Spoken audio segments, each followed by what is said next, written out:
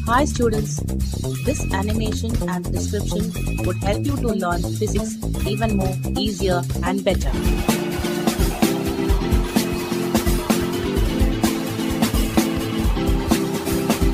So please do watch it and enjoy learning physics.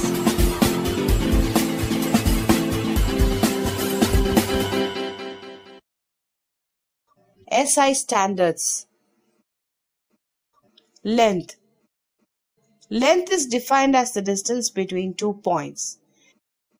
The SI unit of length is meter. Mass Mass is the quantity of matter contained in a body. It is independent of temperature and pressure. It does not vary from place to place. The SI unit of mass is kilogram.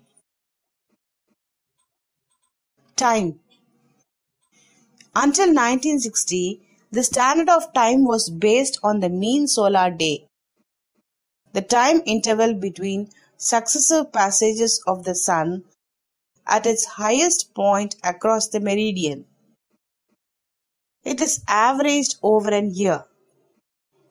In 1967, an atomic standard was adopted for second, the SI unit of time.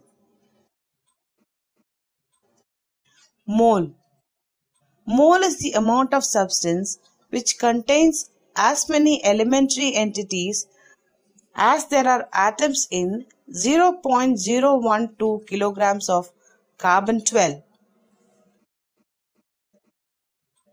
Rules and conventions for writing SI units and their symbols. The units named after scientists are not written with a capital initial letter. For example, Newton, Henry, Watt. The symbols of the units named after scientists should be written by a capital letter. For example, N for Newton, H for Henry, W for Watt. Small letters are used as symbols for units not derived from a proper name. For example, M for meter, kg for kilogram. No full stop or other punctuation mark should be used within or at the end of symbols. For example, 50m and not as 50m. The symbols of the units do not take plural form. For example, 10 kg not as 10 kgs. When temperature is expressed in Kelvin, the degree sign is omitted. For example, 273 K not as 273 degree K. If expressed in Celsius scale, degree sign is to be included. For example, 100 degrees C and not 100 C. Use of solidus is recommended only for indicating a division of one letter unit symbol by another unit symbol. Not more than one solidus is used. For example, ms raised to minus 1 or m per s joule per kilomole or joule Kelvin raised to minus 1, mole raised to minus 1, but not joule per Kelvin per mole.